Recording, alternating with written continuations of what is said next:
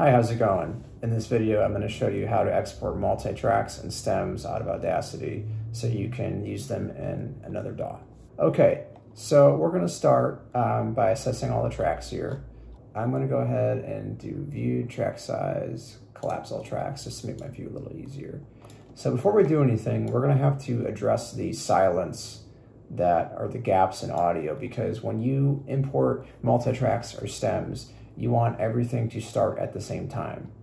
If you don't have this done, it's going to play this part of the song at the beginning of the song. It's going to be out of order and it's not going to be right. So to do that, what we're going to do is we're going to go to, uh, we're going to select any region here to the beginning of the track. We're going to go to generate, silence, and then hit generate, and it's going to create some silence here.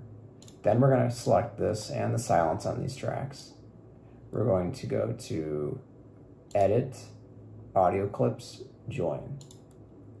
And then all the tracks now, or all the clips are, are connected and are beginning in one place.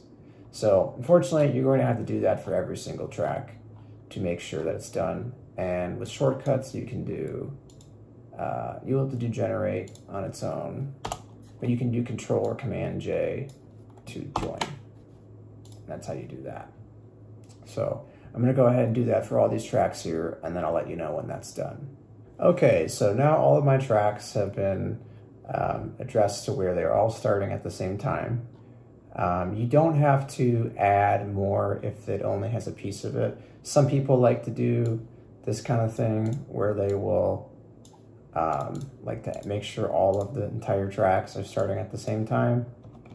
You don't have to do that. Um, but you can if you want, but I don't think it's worth the time. So now we have all our tracks starting at the same time, and now we can start getting everything ready for export. So stems are exporting the tracks as is in this current mix or any current mix. So it's going to include the pan settings, it's going to include the volume or gain setting, it's going to include any type of effects that are on your track, um, compression, EQ, whatever plugins you have. So that's what stem is. So, okay, so we're gonna do for stems is we're gonna go to File, Export Audio, and I have a file location already, already ready here. We're gonna go to Export Range Multiple Files, Tracks, and I'm just using label track name. You can use prefixes and stuff like that. I'm doing 32-bit uh, float, and most of these, or all these are mono. So now what I would do is I would just hit export. And now if I go to my folder, I'm actually gonna create a new folder. I'm gonna call these stems. And these are my stems now. So these are the tracks printed as they are in the mix, as far as panning, effects, gain, whatever.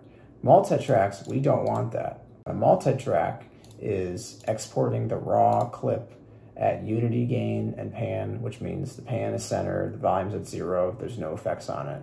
To do that, it's going to take a little bit more work. We're going to have to go in manually and adjust all of the gain to zero on every track. Thankfully, there is a setting to make sure the pan is all. So we can do uh, Control A or Command A to select all tracks. We can go to Tracks, Pan, Center. And that will make all of the tracks center. So Unity, Pan. Fortunately, to, like I said, to fix the gain, there is no setting for that. So you're gonna have to do it manually. You can either do it in the mix window or you can do it in the edit window. I'm gonna do it in the mix window. I think it's faster. I just double click, type in zero, hit enter. It's gonna put it at unity gain. So I'm gonna have to do this for every track. So I will come back when that is done. Okay, so now all of my tracks are at Unity Pan and Unity Gain. I had to go through all of these and double click and enter those values. Like I said, I did it in the mix window. You could have done it here though. You could have just double clicked and hit zero and went down.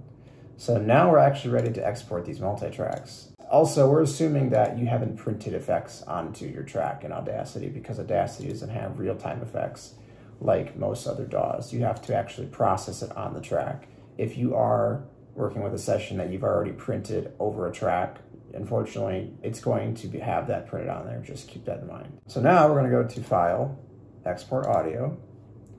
Once again, we're going to do the mono, multiple files, tracks, using the track name. This session was 44.1, um, and encoding, I'm using 32-bit float. You could use any of these, but I think this is the most relevant. And I have my folder ready, and I'm gonna do export. Okay, and let's make sure that worked. Yep, those are all our multi-tracks. So now, if I go into Reaper, um, I'm just gonna drag these in.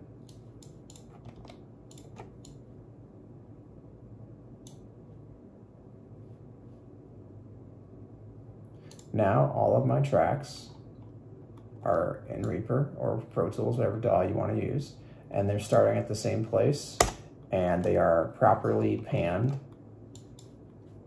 and centered. So you can do whatever you want to do with the mix versus if you had used the stem, it would have printed that previous pan or gain setting. So that's how it's done. I hope this helped and thanks for watching.